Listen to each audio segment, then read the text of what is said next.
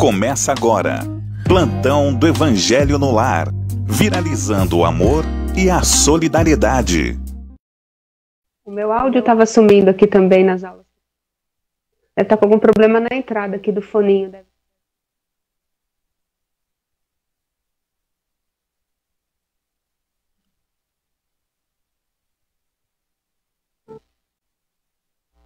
Começa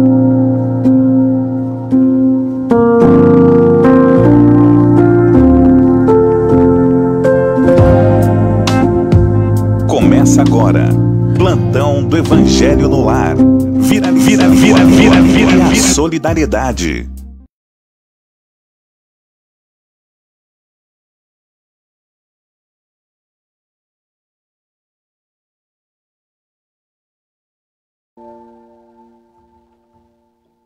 que chega até eu e, e, eu não sabia se estava no ar, então estamos no ar. Seja bem-vindo a mais um plantão do Evangelho no Lar, viralizando o amor e a solidariedade.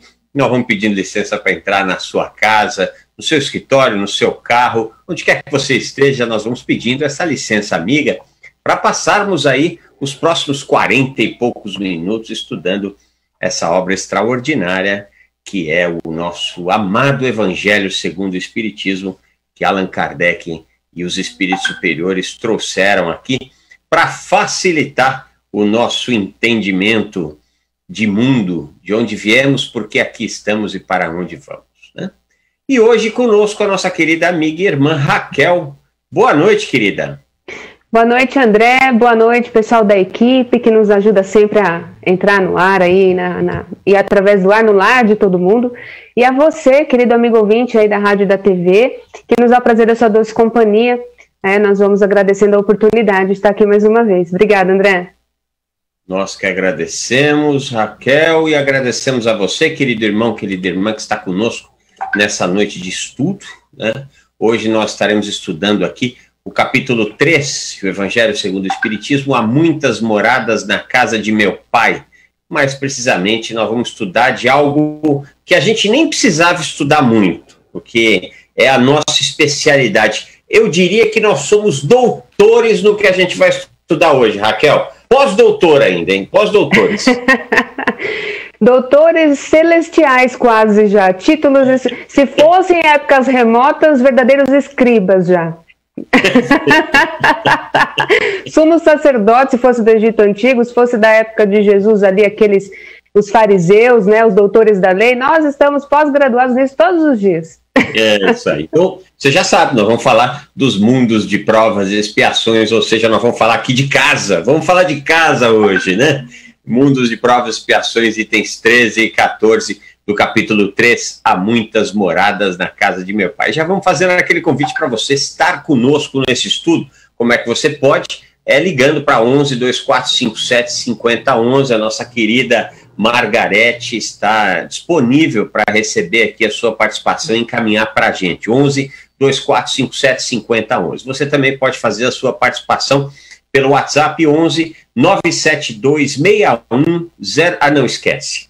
11 99643 3827. Estou confundindo o telefone, o WhatsApp do clube com o WhatsApp da TV e da rádio. 11 99643 3827.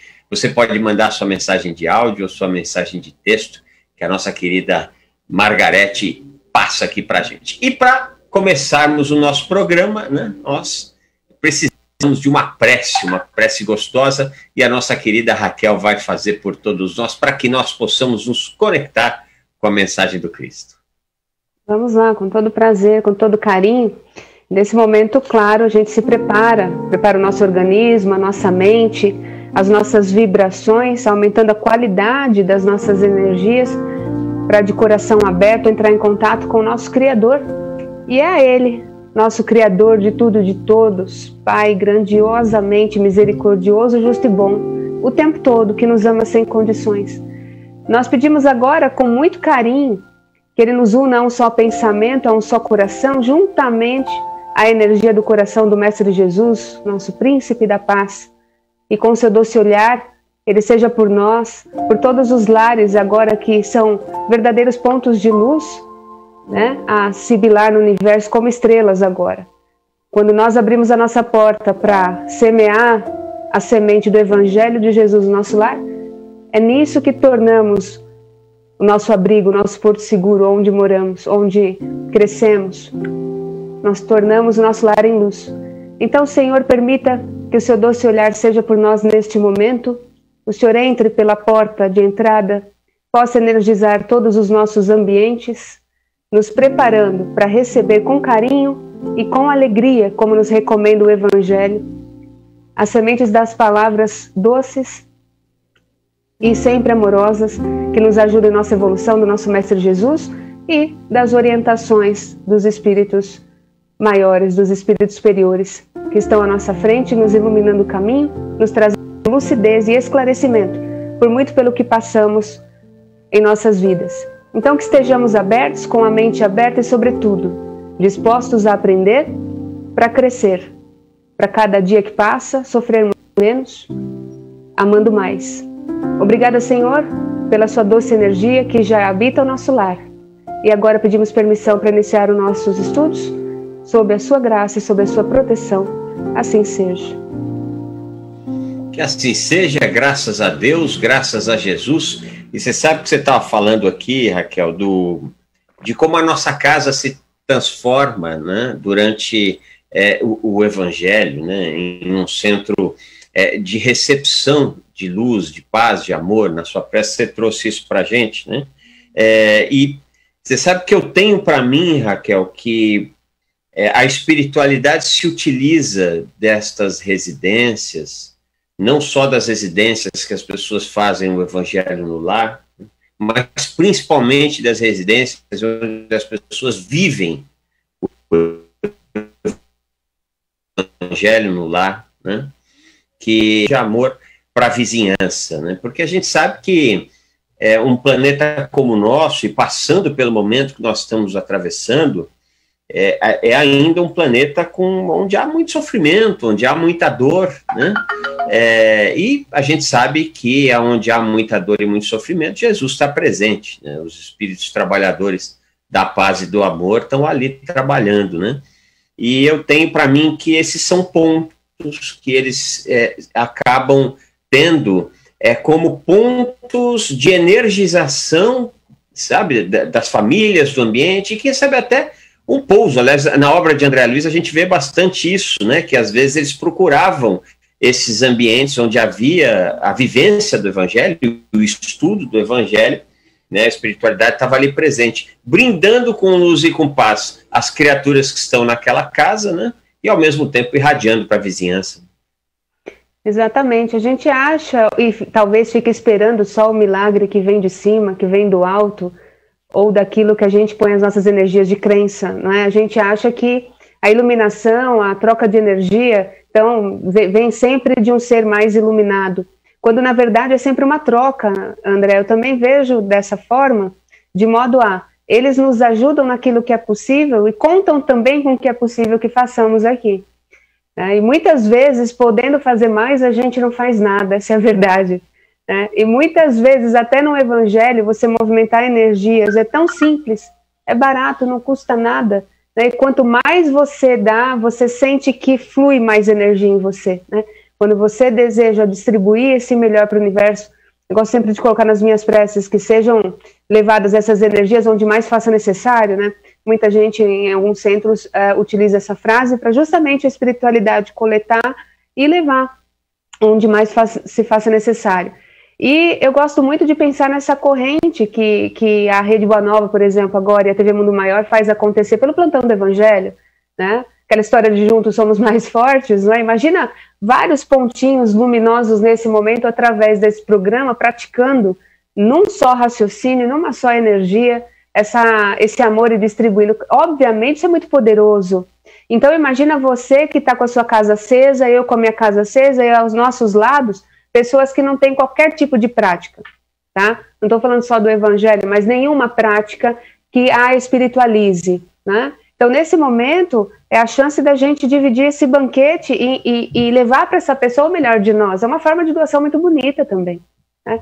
Então, a espiritualidade, ela, ela, deseja, sim, a nossa troca justa, porque a gente recebe tanto. Né? Termina o evangelho, como a gente se sente, né? Nossa, levitando, é muito gostoso. Então, é sempre muito bom poder fazer isso com vocês aqui. Sou muito grata sempre até por isso. Sim, sim. Enquanto você estava falando isso, né, Raquel, também estava me ocorrendo, eu não me lembro agora o trecho do Livro dos Espíritos, se não me engano, o Livro dos Espíritos. Eu sei que é em uma das cinco obras de Kardec, eu não lembro se era no Livro dos Médiuns ou se era no Livro dos Espíritos, aonde é perguntado sobre é, se às vezes a, a espiritualidade acaba atuando para que haja alguma cura, né, é, na gente, né, e aí a resposta eu acho extraordinária, né, porque é, muito, isso acontece muito mais do que vocês imaginam, às vezes vocês nem sabem, né, que a doença, que há um, um processo que há uma morbidade, que há uma patologia, não importa, que há, que há uma doença em curso, e, e, a espiritualidade tem condições de agir. Mas esse tem condições de agir, nós precisamos dar essas condições para que a espiritualidade haja. Né? Então nós temos é, é, um padrão mínimo de equilíbrio de fé.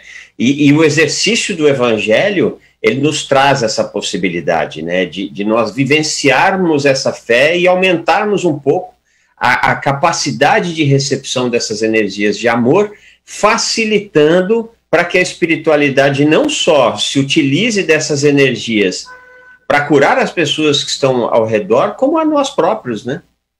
Exatamente, eu também gosto muito de associar isso à questão da imunidade que a gente tem dos outros corpos, né?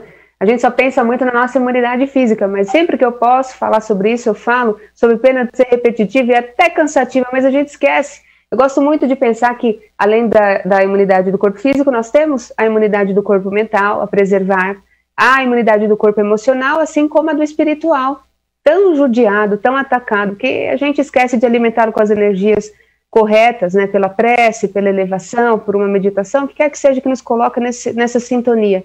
Então, quando você cria campo, como você bem disse, André, pelo equilíbrio, pela consciência de que você é um ser espiritual, né, você tem consciência espiritual de quem você é, então você deseja se alimentar de alimentos espirituais mais, uh, mais saudáveis e que façam mais sentido.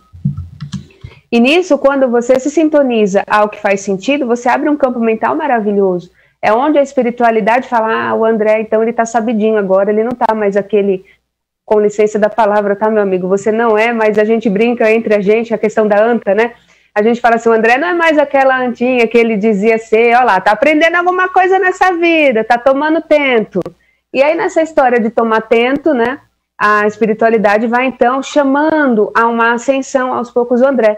Fala, não, agora acho que o André pode vir com a gente nesse projetinho aqui, ó, num projeto de pensar melhor, né? Vamos tentar sugerir para ele trabalhar lá no centro agora, de repente, com uma outra atividade né, mais com, com que trabalha com energias mais sutis, acho que agora ele está mais equilibrado.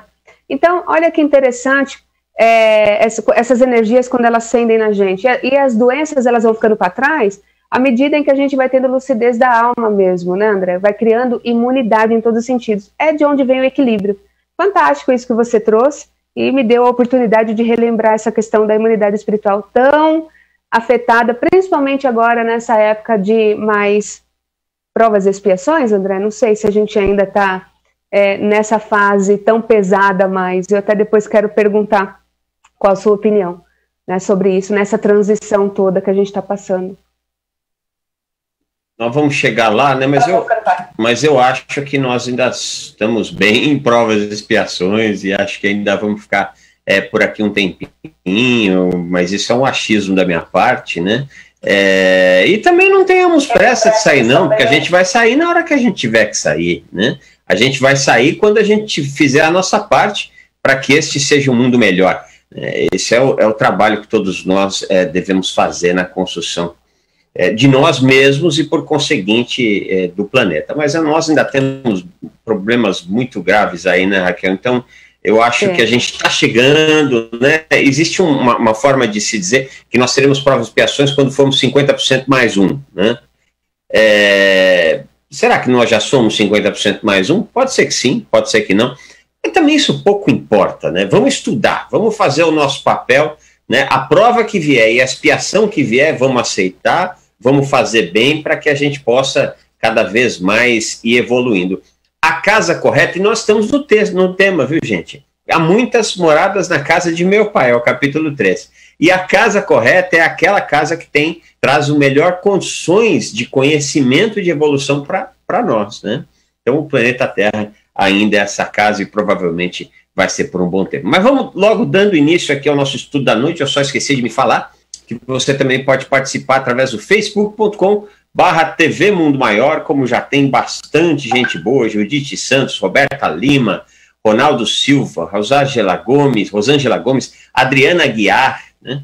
Todos vão deixando o seu boa noite, Bruno Graff, Guedes Júnior, Nilza Lima, Jonas Souza, Verônica Farias e de Vila Velha no Espírito Santo, Vera Lúcia Taídes Freitas e o Jonas Souza, dizendo nós somos espíritos encarnados. É isso mesmo, somos espíritos em uma experiência material. E a Clarice Bertagnoni Miura, que diz: Muito boa noite, sejam bem-vindos. Namastê, namastê.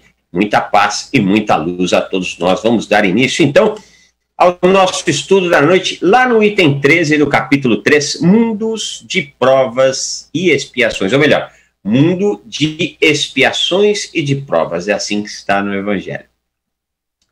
Que vos direis dos mundos de expiações que já não saibais? Pois basta observeis o em que habitais. A superioridade da inteligência, em grande número dos seus habitantes, indica que a Terra não é um mundo primitivo, destinado à encarnação dos espíritos que acabaram de sair das mãos do Criador. As qualidades inatas que eles trazem consigo constituem a prova de que já viveram e realizaram certo progresso.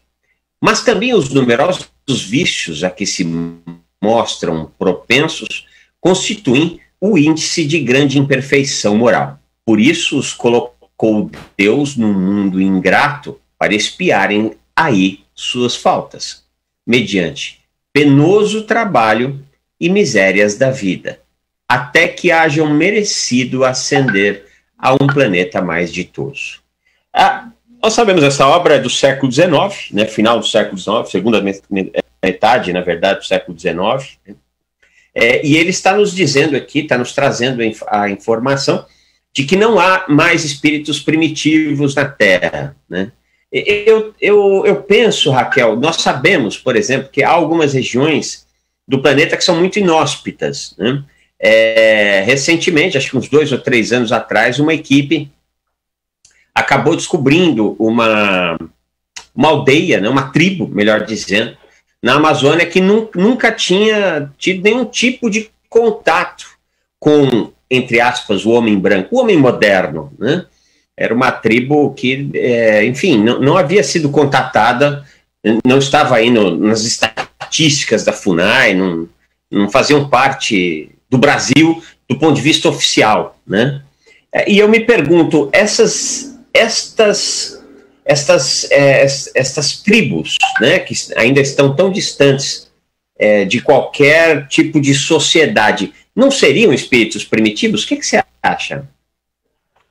Há dois pontos de vista muito interessantes de serem analisados. Se eu partir do ponto que eu sou reencarnacionista e o próprio Evangelho disse nesse momento que na, a Terra não é lugar de espíritos primitivos, já é um ponto de partida para eu entender, nesse primeiro ponto de vista, que eles vieram, de repente, experienciar certos, certas vivências, né?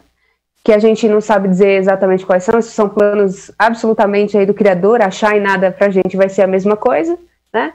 Mas, sob o ponto de vista reencarnacionista, é algo muito interessante. Por que, que eles não foram contatados? Há, há sempre uma explicação para isso. Mas podem ser pessoas já é, com experiências, com carga de, de, espíritos de outras vidas, com uma herança espiritual já na roda da vida, né? O próprio Evangelho ele disse claramente aqui que nesse momento a Terra já não é mais é, lugar de, de pessoas, né, de espíritos primitivos nesse sentido, dada a inteligência que já exista. Esse é um ponto de vista. Agora, o outro, André, ele é muito abstrato. Né? Nos planos de Deus, a gente tentar achar alguma coisa aqui, eu acho que aí já vai ser assim: ah, eu vou bancar secretário de Deus e ver o que, que de repente ele fez de colocar essas pessoas longe das, de contato com a sociedade. Vai saber, né? A gente não pode achar nada, mas apenas observar como você está trazendo e raciocinar. Me parece, é. teria que ter contato de repente com essas pessoas. Vamos, vamos imaginar aquelas pessoas que super simples te dão um baile de sabedoria. Um baile de sabedoria. Às vezes, contatando essas pessoas, elas vão falar assim: André, meu filho, de que mundo você está, hein? Eu vim lá da frente, sei que não está sabendo de nada. Você está me chamando de primitivo, mas se eu te começar a mostrar para você o que eu sei, em termos de superioridade moral, por exemplo, gente, ele pode dar um banho na gente. Então, é entrar em contato com eles e de, de, derivar ali, olhar, na verdade, as características que derivam do espírito e ter alguma conclusão, né? Como, por exemplo, crianças que já vêm com três anos, por exemplo, já sabem tocar Mozart, sem, sabe? Com os dedinhos aqui, tentando alcançar as teclinhas, né? enfim, são heranças do espírito. Para se falar disso, a gente tem que ter contato com essas pessoas. Né? Mas Sim. é interessante essa questão. Sim, sim. É, enfim, é, cabe a um pós-doutorado de antropologia que tenha, é, que tenha também é, a, o, melhor, olhar espiritual. Que tenha o olhar espiritual, que tenha o olhar da reencarnação. Antropologia é, humana e espiritual, né? É, mais ou menos por aí, mais ou menos por aí. Eu tenho para mim que, assim, achismo total, gente, não vi isso em nenhuma obra, muito menos o Pentateuco, né? Mas eu tenho para mim que são espíritos, nas suas primeiras é, experiências, como numa categoria de mundo primitivo, mas um pouco mais adiantados, já chegando ali em provas e expiações, porque, entre outras coisas, eles não são nômades, porque se eles fossem nômades, eles estariam se locomovendo e teriam tido, tido contato com, com o branco, ou seja, eles já, já estão organizados como sociedade. Se eles estão organizados em sociedade, muito provavelmente eles já manipulam fogo, muito provavelmente eles já têm ferramentas, né? Isso que permite que eles possam estabelecer morada em um canto, né? Porque nós o, o, o, disse, né, que houve um grande salto quântico justamente quando nós passamos, deixamos de ser nômades e, e aprendemos a ocupar o espaço que nós nos encontrávamos de forma coletiva e tirar desse espaço o nosso sustento, né? É, enfim, e isso foi um passo de grande evolução é, segundo, segundo a própria antropologia, né? É interessante tudo isso e analisar. Quando a gente analisa um fato, ele nunca pode ser analisado de forma isolada, não é? A gente tem que se valer como você está fazendo. Exatamente isso. É, olhar o contexto e a partir dele supor, a partir, é, supor questões que envolvem isso tudo, né? Podem ser espíritos já que estão, que vão trazer uma sabedoria outra, uma sabedoria mais natural, quem sabe, de repente, trazendo coisas assim, falar, oh, vocês estão muito aí na, no fora, né? Olha como a gente faz aqui, dando exemplo aqui ali. Deus é que sabe, mas é, são espíritos geralmente interessantes de serem uh, olhados, observados. Essa matéria deve ter trazido para você pontos importantes, né? Mas também me fez lembrar aqui de pessoas que estão na, civiliza na nossa civilização, André, e agem como, aspas, o, o, os tribais, não é? os piores tribais, assim, em termos de agressividade, em termos de instintos, né? Então, quando a gente vai mensurar e quem é o selvagem da história, fica sempre muito no abstrato a depender do comportamento. Existem, por exemplo, reencarnações que os espíritos trazem para a gente de pessoas que nasceram com alguns problemas neurológicos para evitar mal maior. Quer dizer, os espíritos são dirigidos por Deus numa sabedoria incrível, a depender da necessidade de cada um, e a lei do retorno, nessa crescente né, da, da, evolução, ela é maravilhosa, ela coloca tudinho no lugar, né? Então, que esses irmãos, sendo primitivos ou não, tendo ascendido um pouquinho ou não, que eles possam, nas limitações, nas limitações deles, terem uma vida esplêndida, né? Cheia de oportunidades e protegidos aí para a espiritualidade maior. É, e, e, a Terra ganha sempre com essa diversidade, né? É, espíritos é, nas suas primeiras andanças, espíritos mais evoluídos. Certamente aqui há entre nós espíritos que já, já teriam o merecimento, inclusive encarnados, né, que já teriam o merecimento de estar em planetas melhores, mas que estão aqui em missão, ou por amor, né, porque uma parte dos seus espíritos familiares, vai por assim dizer, ainda ficaram por aqui e eles, né, para ajudar, para auxiliar, falar: não, vou ficar aqui também. Ou seja, como é bom nós sermos diferentes, né, Raquel? Como é bom, como a gente precisava dar valor a isso, a não ficar vendo quem é diferente de nós como alguém que que não é especial, como alguém que é inferior, como alguém que não merece nossa consideração, porque a gente sempre aprende, né, com essa diversidade, né? Ah, na semelhança, André, olha, eu já observei muito isso, eu aprendi pouco com as semelhanças, pouco, pouco, pouco, pouco. A gente tem pouco a trocar quando a gente se parece, agora quando a gente é diferente, a gente aprende demais. E quando a gente eh, se torna uma pessoa disponível para, sabe, mente aberta mesmo e, e porque mente, ter mente aberta não é nenhum sacrifício, é ser natural, é o natural das coisas, não é? A natureza é feita de cores diferentes, aromas diferentes, tudo é diferente. Então, no diferente a gente encontra tanta coisa bonita. Né? Eu aprendi, tudo que eu aprendi de mais importante foi analisando as diferenças. Isso é maravilhoso. Né? Então. Pois é, por isso não tenhamos medos, né, nem preconceito, em estar ao lado de pessoas diferentes né, da gente, porque a gente só vai ganhar com isso. É uma estupidez quando a gente se fecha para isso. Gente, vamos ler aqui então o item 14 agora. Entretanto, nem todos os espíritos que encarnam na Terra vão para aí em expiação. As raças, a que chamais selvagens, são formadas de espíritos que apenas saíram da infância e que na Terra se acham, por assim dizer, em curso de educação, para se desenvolverem pelo contato com espíritos mais adiantados. Aí, nesse momento, nós somos mais chique, né, Raquel? Nesse momento, quando nós estamos falando desses nossos irmãos aqui, nós somos os espíritos adiantados, né? É, assim como para os animais, né, nós somos espíritos adiantados, né?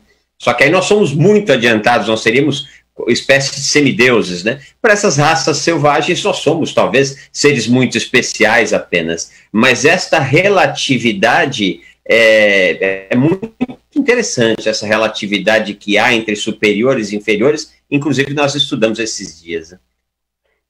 Sem dúvida, mas nós é chique, né, Bem? Você acha que eu não sou um ser baixinho ali? Eu tenho luz, né? Não é assim, não é gostoso pensar? Eu sou elegante até no espírito, eu sou assim, né? Um ser que, nossa, exala luz todos os dias, até quando toca o dedinho feito para doer ali, né?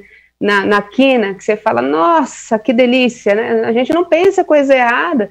Então, é, é complicado isso, porque justamente o preconceito inconsciente, ele mora, a gente não percebe, né? Nós somos preconceituosos, inclusive, nesse ponto, quando a gente se acha mais avançado né, do que certa tal qual pessoa, tal qual necessidade. Nós temos realmente muito a aprender. Quando a gente precisa, é, quando a gente passa pela diferença, pelo preconceito, não é, André? Pela, por essa, esse desnível espiritual e a gente vê que tem muito mais a crescer, Aí a gente começa a tomar outros lugares. O André Luiz, eu lembro bem quando ele foi em caravana, num um dos livros dele, que também eu não vou lembrar agora, ele de repente se compadeceu tanto com a dor de uma pessoa ali em prova, né, em dificuldade, que de repente ele disse que saiu do peito dele uma luz muito grande. E o mentor da caravana disse na mesma hora, ele falou: oh, legal, você ficou felizão que você acendeu agora, você está bem, você deu mais um passo na sua evolução, mas vamos baixar a luz aqui para a gente não humilhar e nem constranger quem está passando por prova, dor nesse momento. E aí é. ele falou, mas como que eu faço isso? Né? Aí ele diminuiu a luz dele e eles continuaram a caravana. Olha que lição nesse contexto do que você está trazendo agora para gente. É, e, uma lição que também está no Evangelho segundo o Espiritismo, não me lembro o capítulo, enfim, é de uma senhora que vai socorrer os necessitados, e ela é uma mulher muito rica, mas quando ela vai socorrer aos, aos necessitados, ela se veste de forma muito humilde para não chocá-los com a sua riqueza, né? Enfim, é um texto belíssimo. Eu, infelizmente, não me lembro qual que é. É, é da viúva, não é? Oi? A viúva, que, era a viúva que saía e a filha dela, mãe, mas onde você vai lá? Shhh. É, eu acho que, é e ela ia, visitava, bem legal você acompanhando esse programa, em algum momento nós vamos chegar nesse. Ah, foi tática, é, né? Para aprender aqui o pessoal, para falar, fica aí, que uma hora a gente vai chegar nessa história, vocês vão saber. É isso aí, é isso aí. Vamos seguir mais um trechinho. Aliás, antes da gente seguir, vamos é, ler algumas mensagens aqui de nossos irmãos e irmãs que nos enviaram aqui. É, a nossa Maria das Graças, de Mato Grosso, vai deixando o seu boa noite. O Alexandre Bahia e a Jussara Rego, eles que são de Juazeiro, na Bahia, também ligadinhos aqui na programação da TV Mundo Maior e da Rede Boa Nova de Rádio. A Elizabeth de, Ju, de Jundiaí né, também está nos acompanhando. É, o nosso. Ó, tem aqui. Senhor Ivanir de Souza, ele quer de São José do Rio Preto. Estou precisando de muita prece. A maioria da família está com Covid. Olha, seu senhor Ivanir, daqui a pouco nós vamos fazer a vibração, né? Então é o momento em que nós vamos aqui somatizar todas as energias para que essas energias sejam energias curativas e mais do que isso sejam energias que vos conduzam a todos da maneira mais tranquila, pacífica e harmoniosa possível por esse momento que estão passando. A boa notícia, meu irmão é, Ivani, Ivani acho que é mulher, né? Acho que é, ah, não, senhor, senhor, é o Ivani, ele inclusive já escreveu para a gente.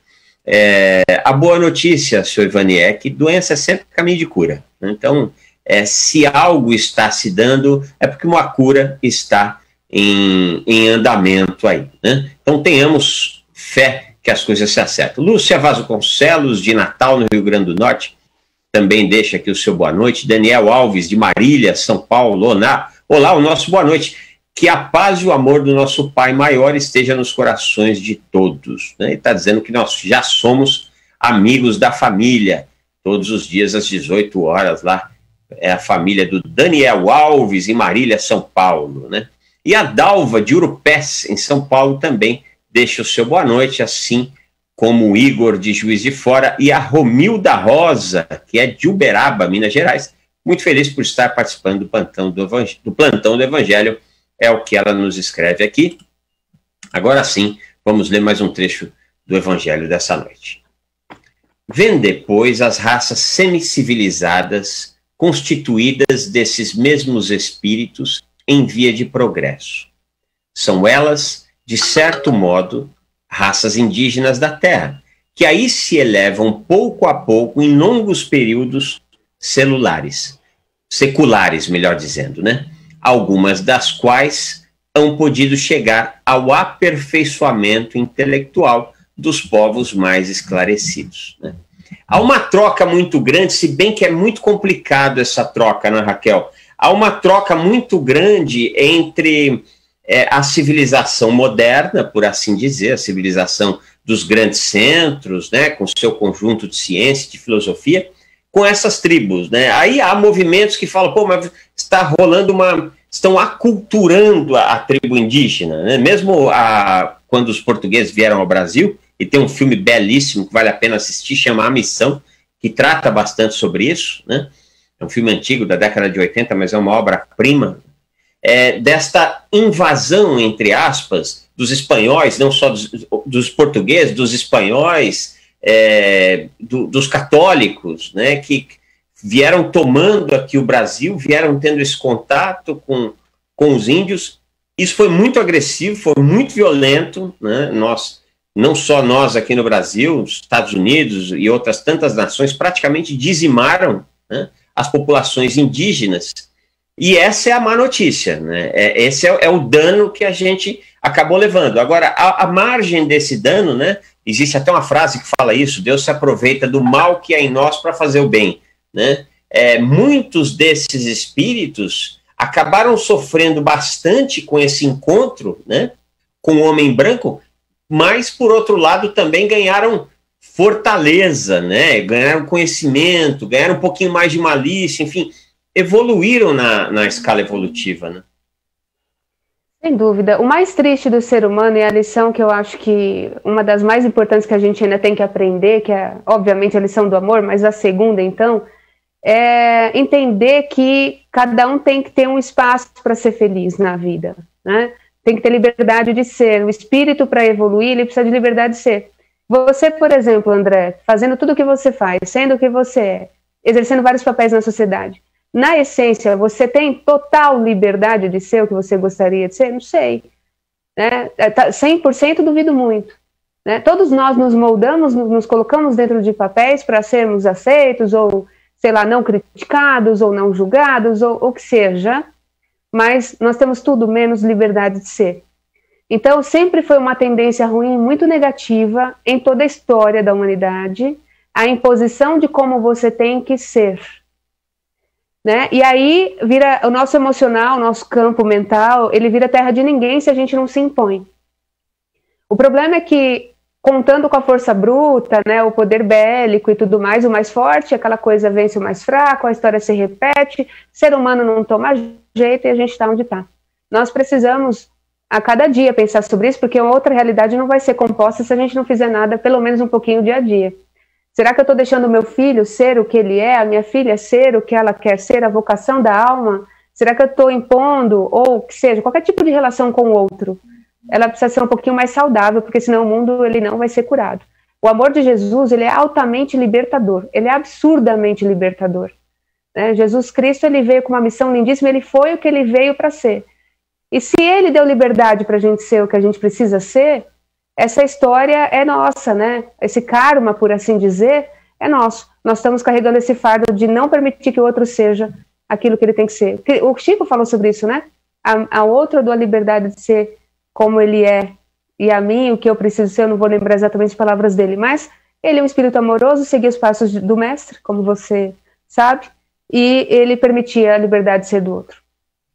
Sim, é, há vastos estudos que falam né, sobre esse impacto é, da, da vida moderna nestas raças indígenas, isso desde a chegada dos portugueses é, aqui ao Brasil. Agora, o que a gente sabe é isso: realmente esta nós não viemos, né, para catequizá-los verdadeiramente, né? Nós viemos para tomar conta do espaço, né? Então, é, aí a coisa realmente é, desandou, né? Agora, como nós dissemos, aquela famosa frase, né? Deus se aproveita do mal que é em nós para poder fazer o bem estas criaturas acabaram evoluindo bastante, né?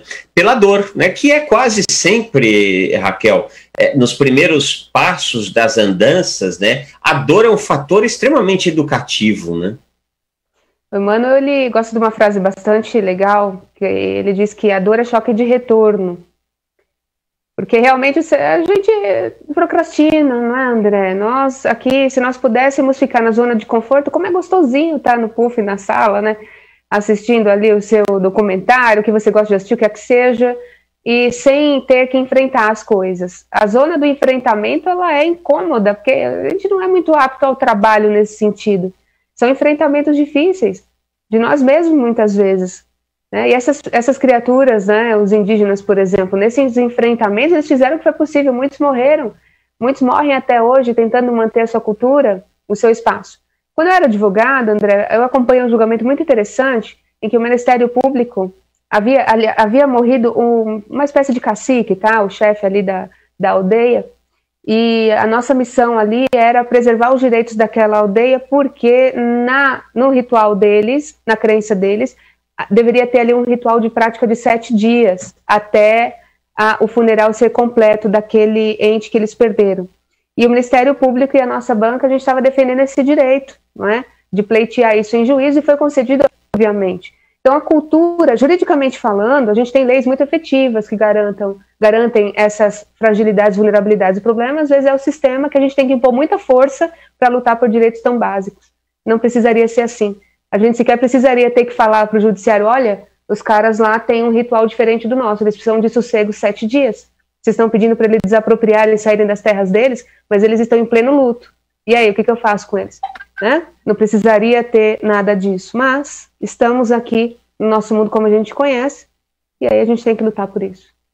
E, e uma das maiores dores é, que se instalou né, na Terra, é, sem dúvida alguma, foi a Segunda Guerra Mundial. Né? Por trás da Segunda Guerra Mundial é, havia a, a, famosa eugenia, né? a raça perfeita. Né? Ou seja, ninguém presta, quem presta é, o, é, aquele camarada que tem essas características genéticas, físicas, anatômicas. Né?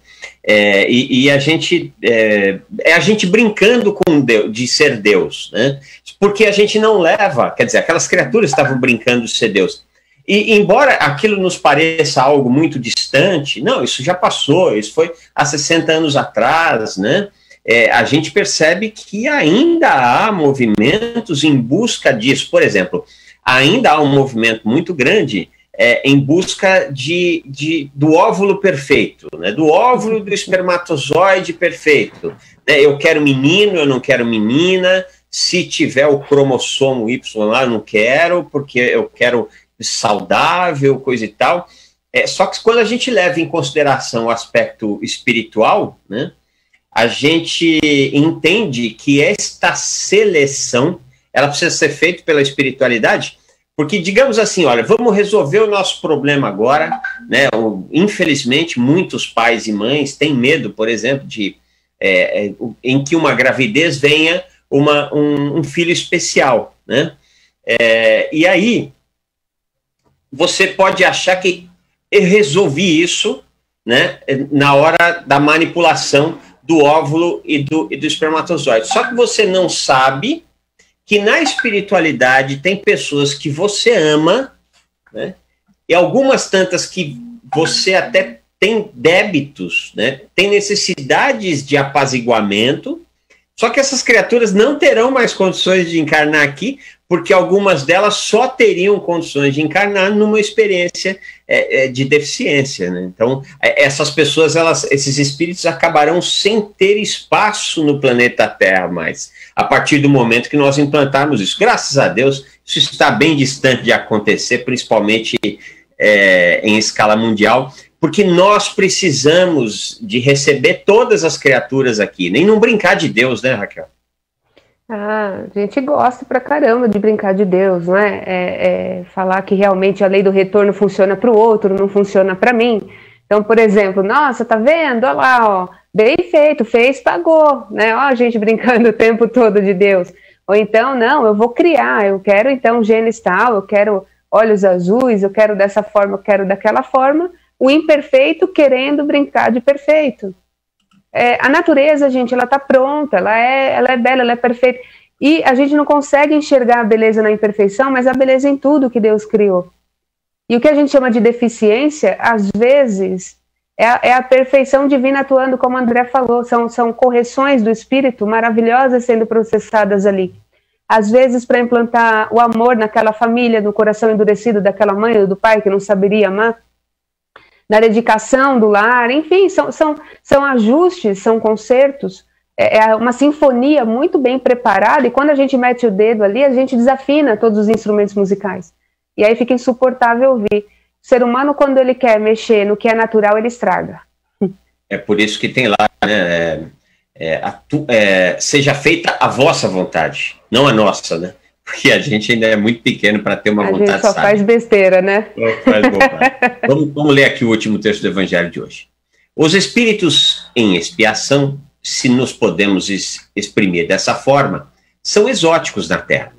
Já viveram noutros mundos, onde foram excluídos em consequência da sua obstinação no mal e por se haverem constituído em tais mundos causa de perturbação para os bons tiveram de ser degradados por algum tempo para o meio de espíritos mais atrasados, com a missão de fazer que estes últimos avançassem, pois que levam consigo inteligências desenvolvidas e o germen dos conhecimentos que adquiriram.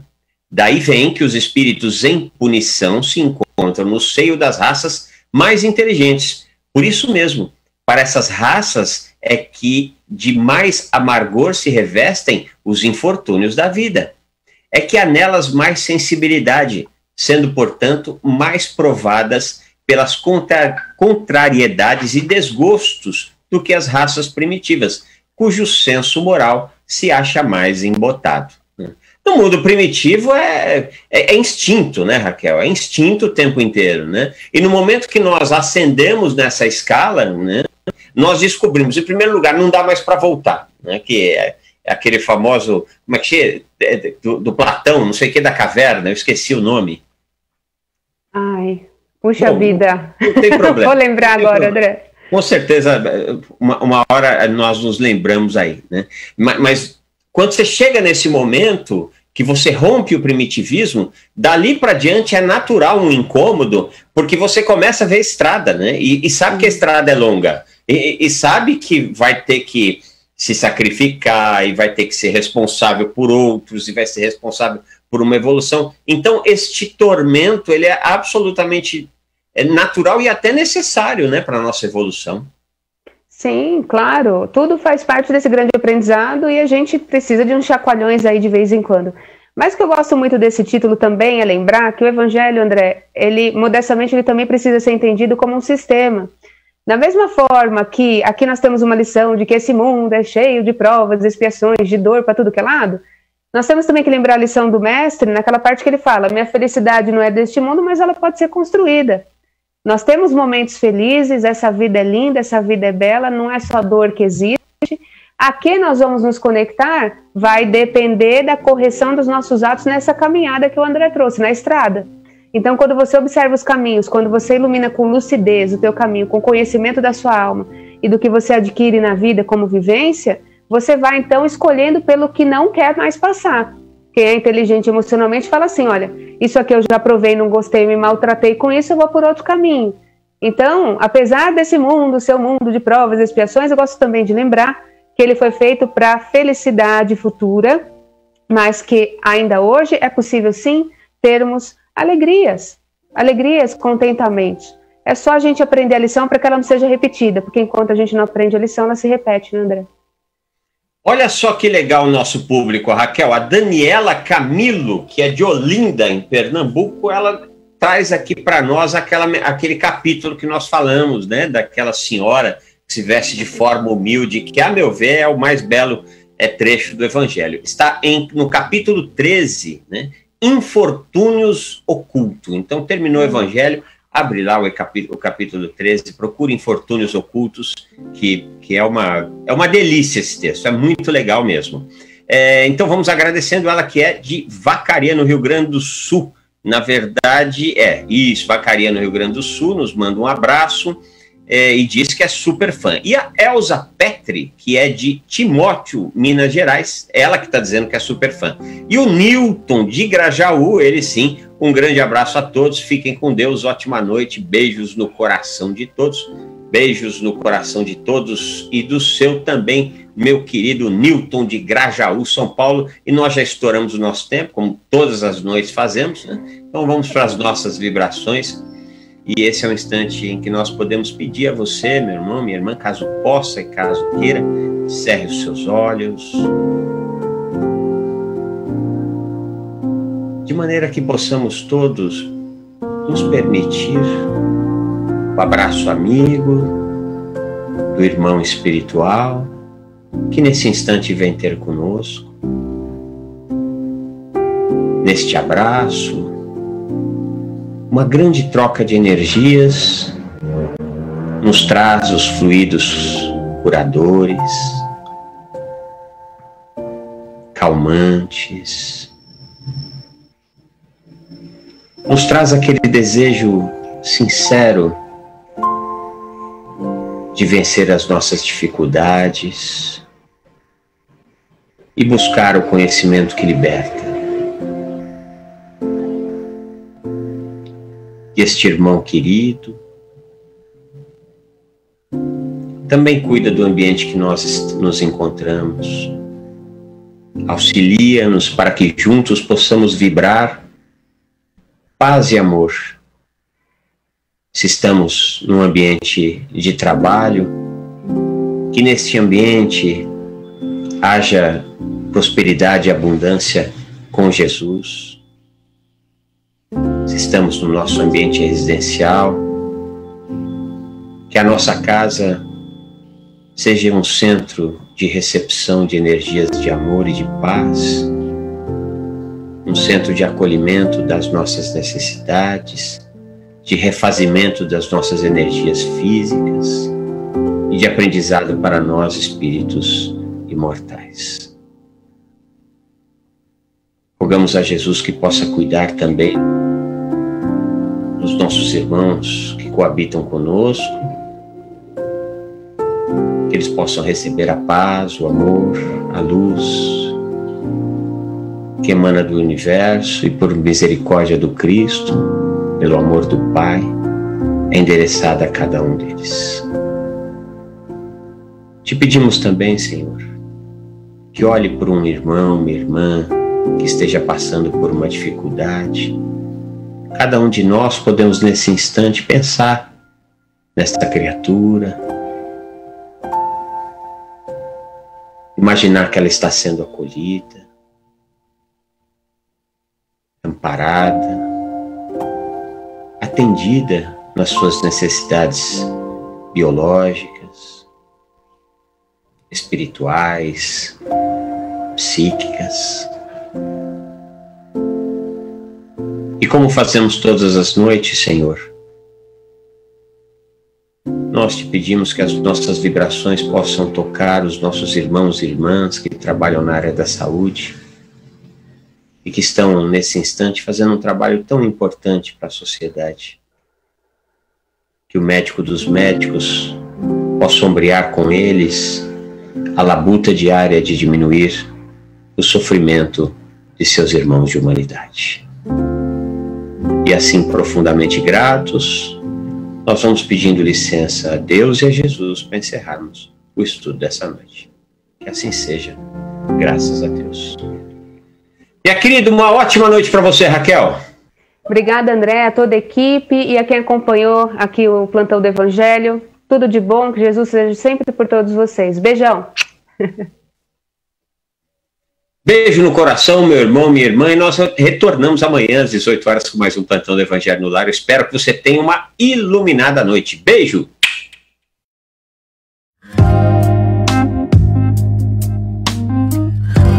Você acompanhou Plantão do Evangelho no Lar